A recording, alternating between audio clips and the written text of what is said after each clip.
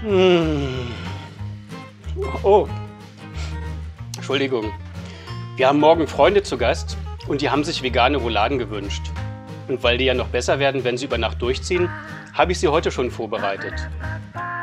Mit schwarzem Knoblauch, Salbei und Meerrettich. Eine richtige Geschmacksexplosion. Und wie das genau geht, das seht ihr gleich.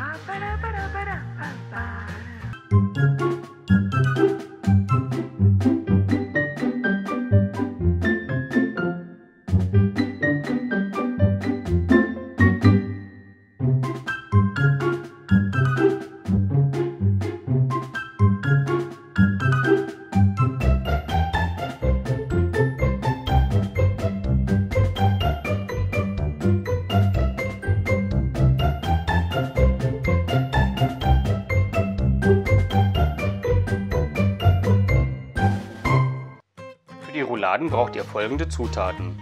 4 Soja Big Steaks, Salz und Pfeffer, 2 Möhren, 2 Zwiebeln, Meerrettich, 50 Gramm veganen Speck und etwas Pflanzenöl zum Anbraten. Außerdem braucht ihr noch Küchenfaden oder Zahnstocher zum Fixieren. Für die Rotweinbratensoße braucht ihr Suppengrün, etwas Pflanzenöl zum Anbraten, 500 ml Rotwein, 500 ml Gemüsebrühe, 2 Esslöffel Birnen- oder Apfelmus und Pfeffer und Salz. Für das Birnen-Kartoffelstampf 700 bis 800 Gramm Kartoffeln, 150 ml Mandelmilch, 2 Birnen, Pfeffersalz Muskatnuss, Salbeiblätter und etwas schwarzen Knoblauch zum Garnieren. Als allererstes lege ich die Big Steaks in heißer Gemüsebrühe ein Sie müssen dann noch ca. 15 bis 20 Minuten ziehen. Ich habe die Rouladen auch schon mal aus Seitanmehl selber gemacht, aber das war eine Heidenarbeit. Und mit den fertigen Big Steaks geht es einfach schneller und ist fast genauso lecker. Die Big Steaks sind sehr leicht und schwimmen oben, deswegen beschwere ich sie jetzt noch mit einer Schale, die ich mit Wasser gefüllt habe. Und dann bereite ich noch die Zutaten vor, die ich alle klein schneiden muss, wie zum Beispiel die Zwiebeln in Ringe, das Suppengrün, zunächst den Lauch, dann die Möhren in Würfel und in Streifen und den Sellerie. Dann würfle ich noch die Kartoffeln für unseren Kartoffelstampf. Die Kartoffeln habe ich schon in etwas Salzwasser aufgesetzt und jetzt brate ich das Suppengrün in etwas Olivenöl an.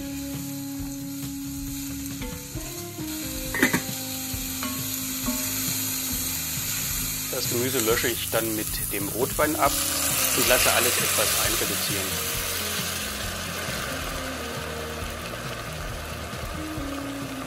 Nach ca. 5 Minuten gebe ich die Gemüsebrühe hinzu und lasse alles zusammen nochmal ca. 15 bis 20 Minuten kochen. Die Soja Big Sticks habe ich etwas abkühlen lassen und etwas ausgedrückt und schneide sie jetzt in der Mitte durch, dann lassen sie sich besser verarbeiten. Ich bestreiche sie mit ca. einem Teelöffel von dem Meerrettich und belege sie mit den Zwiebelstückchen. Dann kommt noch etwas veganer Speck hinzu. Da gibt es übrigens ein eigenes Video. Die Infos dazu findet ihr unten in meiner Infobox. Echt lecker, unbedingt ausprobieren. Dann lege ich noch einen Möhrenstitz hinein und rolle die Roulade auf.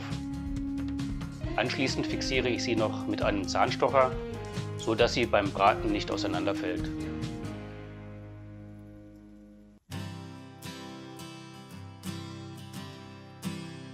Der Bratenfond ist jetzt gut einreduziert Sieht schon gut aus. Dann können wir als nächstes die Rouladen anbraten. Dafür habe ich etwas Pflanzenöl in eine Pfanne gegeben. Und wenn das Öl richtig heiß ist, brate ich die Rouladen scharf an, von jeder Seite circa 5 Minuten. Rouladen nach deutschem Rezept gibt es übrigens auch im Restaurant Biergarten im deutschen Pavillon in Epcot. Lange war der Themenpark Epcot der untypischste innerhalb des WDW. Nur wenige konnten etwas mit dem Namen anfangen. Es fehlten Mickey, Donald und all die anderen Charaktere, die sonst einen Disney-Park ausmachen. Insgesamt ging es mehr um Visionen und ums Lernen, als um Spaß und harmloses Vergnügen.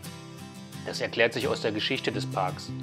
Wenn ihr mehr darüber erfahren wollt, schaut euch mein Video Biersuppe an. Da erzähle ich einiges darüber. Epcot ist wahrscheinlich immer noch der anspruchsvollste Park der gesamten Disney-Welt. Aber auch dort haben inzwischen Fahrgeschäfte und die einfach unverzichtbaren Figuren wie Goofy, Onkel Dagobert und die Panzerknackerbande Einzug gehalten. Man kann sich auch auf tolle neue Fahrgeschäfte freuen, wie zum Beispiel Frozen the Ride und Ratatouille, das es ja auch schon im Disneyland Paris gibt und das demnächst in Epcot eröffnet wird. Die Rouladen sehen doch schon richtig lecker aus.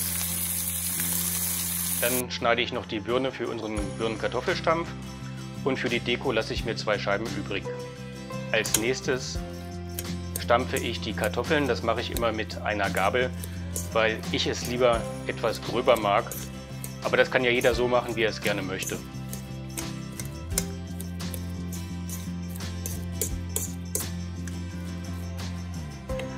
Dann gebe ich noch etwas Pfeffer hinzu und etwas Muskatnuss.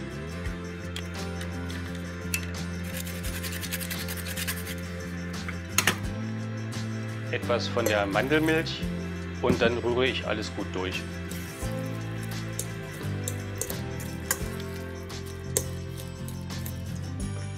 Jetzt kommen noch die klein geschnittenen Birnen hinzu und schon ist der Kartoffelstampf fertig.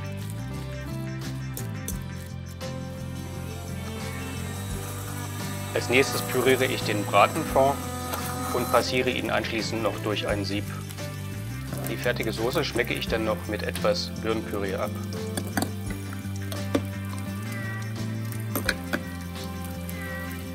Für die Dekoration benutze ich immer gerne schwarzen Knoblauch. Den gibt es im Internet. Riecht super lecker und der Geschmack ist einzigartig. Ein wenig nach Lakritze. Aber auch wenn man Lakritze nicht mag, wird man von dem schwarzen Knoblauch begeistert sein. So, dann können wir auch schon anrichten. Dafür gebe ich zuerst etwas von dem Birnen-Kartoffelstampf auf den Teller. Ich stürze den Stampf immer. Das macht sich dann besonders gut. Dekoriere den Stampf mit etwas schwarzem Knoblauch und etwas von dem Salbei. Gebe mir dann einen Soßenspiegel auf den Teller.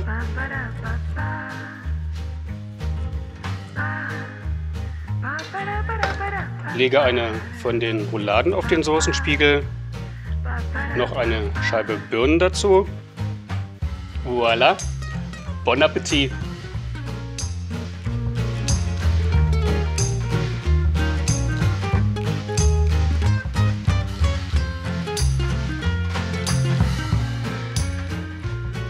Kleiner Tipp noch. Wenn es etwas weihnachtlich werden soll, dann kann man das Ganze natürlich auch mit Rotkohl und Klößen servieren. Dann gebe ich auch immer noch etwas Lebkuchen in die Soße. Das macht es richtig schön weihnachtlich. Nicht vergessen, wenn es euch gefallen hat, gebt mir ein Like, abonniert meinen Kanal und drückt die Glocke. Bis bald, euer Christian.